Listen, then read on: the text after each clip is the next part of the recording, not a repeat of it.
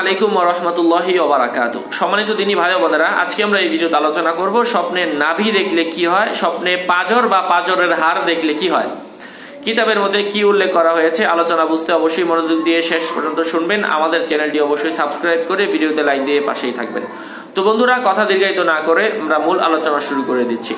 স্বপ্নে কেউ যদি নাভি দেখে, তাহলে পিতামাতা উভয়ের জীবিত আছেন।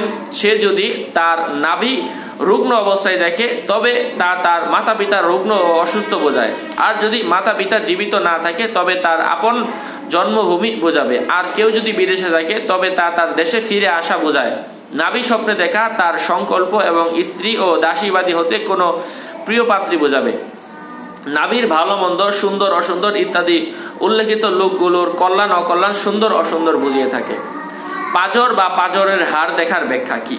নিজ নিজ পাজর বা পাজরের হার স্বপ্নে দেখা স্ত্রী বোঝাবে। কেননা মহিলাদের পাজরের হার হতেই সৃষ্টি করা হয়েছে। অর্থাৎ হজরত অর্থাৎ হজরত হাওয়া আলহ ইসলাতামকে হজরত আদম আলহ ইসলাতামের বাম পাজরের হার হতে সৃষ্টি করা হয়েছে। সুতরাং পাজরের হার পাজরের হারের রোগ ব্যাধি ভালো মন্দ যা কিছু দেখা দিবে তা তার তা স্ত্রীর মধ্যেই দেখা দিবে।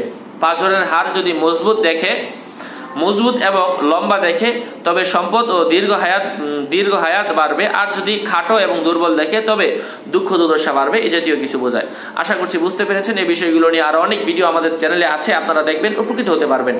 সুস্থ থাকবেন, ভালো থাকবেন, আমাদের সাথেই থাকবেন। আসসালামু আলাইকুম রহমতুল্লাহি ওবরাকাত